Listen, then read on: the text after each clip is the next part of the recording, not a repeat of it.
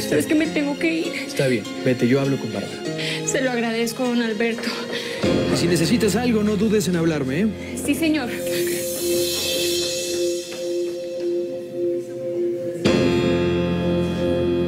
Celular. ¿De qué te quejas?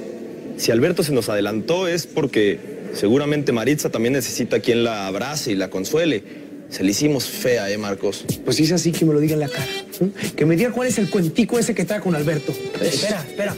Marcos, tú y ella no tienen ninguna relación, no tiene por qué darte explicaciones. Pues, pues no me importa. Si ella piensa que no fui sincero con lo que le dije, entonces le voy a echar en cara que ella tampoco está siendo sincera conmigo. ¿Qué le pasa, hombre?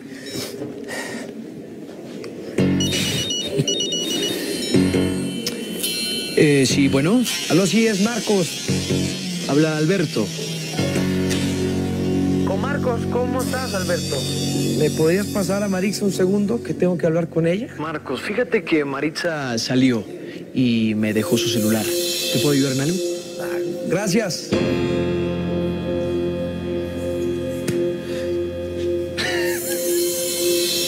No te lo puedo creer. ¿De verdad hiciste eso? La oportunidad fue perfecta. Maritza se va, olvida su celular y yo lo contesto por ella. Y lo mejor de todo fue que me vio abrazándola. Marcos debe estar echando muchas chispas, déjame decirte. Bien hecho. Bueno, me parece que las cosas están mejorando mucho para ti. Por verle la cara a esa pobre, parece que Marcos le hizo algo muy feo. ¿Y dónde está ella ahora? Se fue para su casa. Alguien le llamó, me pidió permiso para salir. Parece que se le presentó un problema familiar o algo así por el estilo. Esa tipa no sale de un rollo para meterse a otro. Ay, ¿qué pasó, Luzmila? ¿Dónde está mi mamá? Ay, manita, ella está en el cuarto. El médico se acaba de ir. Bueno, ¿y qué le pasó? Pues, este, él dijo, él dijo que estaba, eh, ay, ¿cómo se dice, manita? Este, catatónica. ¿Qué? ¿Y qué es eso? No, yo no sé. Yo no sé, pero resulta que el doctor que la iba a operar resultó siendo un charlatán, manita. Y entonces, ¿qué pasa? Ella se puso muy mal y, y yo la vi así como muda, como, como mirando para el techo. Ay, Dios mío, es que a mí me latía que no era ningún médico. Ay, Luz mía, ¿ahora qué vamos a hacer? Pues, pues esperar, esperar. Eso sí, el médico dijo que esto era pasajero y que se quitaba solito. Ahora tu padrino está con ella. Hazme un favor. Distrae a mi padrino y yo voy al laboratorio y le preparo algo a mi mamá. Bueno, gracias. Chao.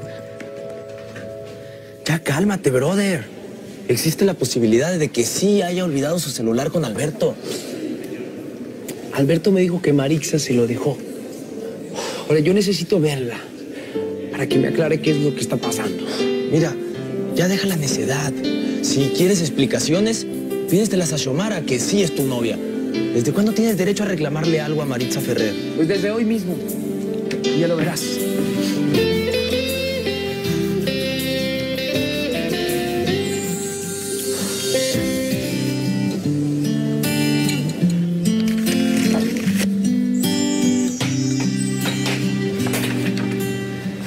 Gotas de tuna para que se desentuma. Ramitas de arbusto para que se le pase el susto. Y muchas semillas de espazote para que se alborote.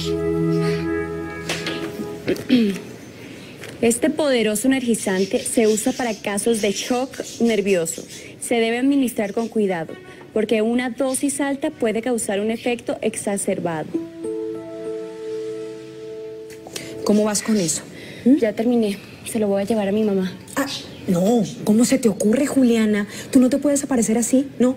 Bueno, ¿y qué tiene? Yo soy tu prima, la del monte. Nadie va a decir nada. Ay, sí, a ver, a ver. Resulta que también mi prima, la del monte, sabe de remedios caseros como Juliana. Ay, comadre, mucha casualidad. No, no, señora, si nos descuidamos, terminan descubriéndote. Ay, Luzmi, pero es que es mi mamá la que está enferma. Mira, tú aguanta ahí, mujer, que yo voy, yo le doy ese remedio, y si es tan bueno como tú dices, santo remedio, ¿ya? Mientras tanto, tú te transformas en Juliana y después vas a verla y listo. Haz que se tome solo 10 gotas. Solo 10. Mira, Nelson, tú sabes que yo no tengo dinero y la renta se la puedes cobrar a mi papá. Está bien, Pedrito. Está bien. Sí. Que conste que esto no es gratis, que esto me lo tiene que pagar tu papá. Bien. ¿De acuerdo? De acuerdo.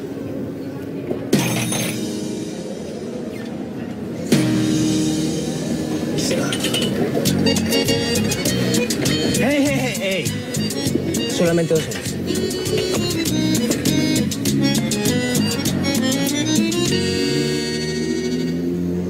Cinco, seis, siete, ocho, nueve y diez.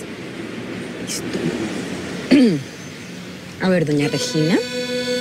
Por favor, abra la boca. Eso. Y se toma este remedio. Que muy bien. Bueno, la Juli me dijo que esto hacía efecto en media hora. Alcanzo a ir y volver. Doña Regina, que por favor se quede aquí quietica, que voy a ir a hablar con su hija.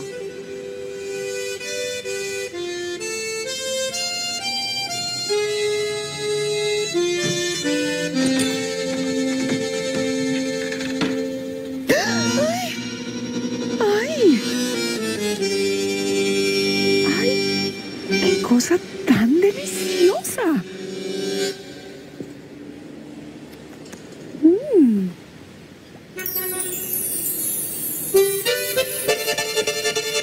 Manjar de dioses. Por ti, Regina.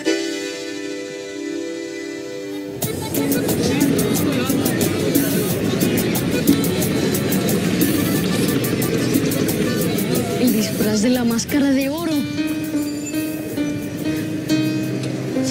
Solo tuviera para comprar. Pero si yo estoy divina. ¡Qué cintura! Yo no necesito cirugías. Así estoy re guapa. Regina Soler, eres perfecta. Ay, ¿esto por qué está tan aburrido? Yo sé que hace falta. Yo sé, yo sé.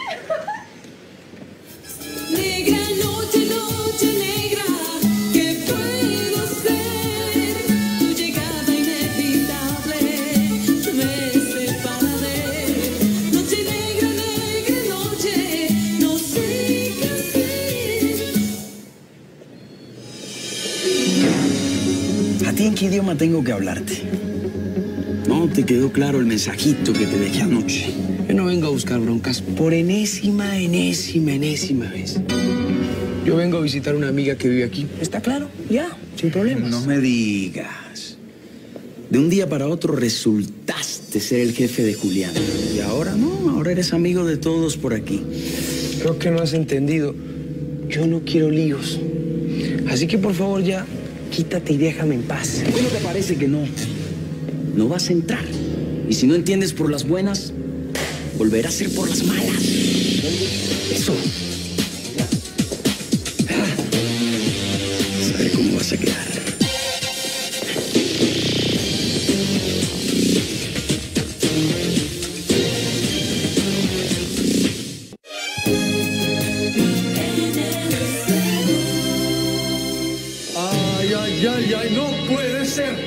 ¿Ya van a empezar de nuevo? Dígale a este tipo que se largue, maestro. Ya, Nino, ya.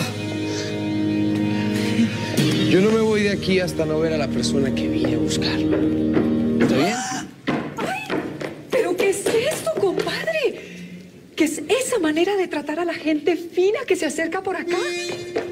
¡Ay, cachetón! ¿Y es que a ti nunca te enseñaron modales en tu casa? Regina, esto no es asunto tuyo. No te metas, no te metas. Claro que es asunto mío. ¿No ves que este señor es mi amigo? Deberían estar agradecidos que una persona de tan alta categoría, de mi mismo nivel, se humille hasta el punto de visitar este lugar. En vez de estar ahí paradote, atiéndelo. Si podrás ser tu amigo, pero a ti no entras, no entras. Un momento, cachetón. A este lugar que le pertenece a mi compadre Paco, yo puedo traer los invitados que a mí se me antoje y no vas a ser tú el que me lo prohíba.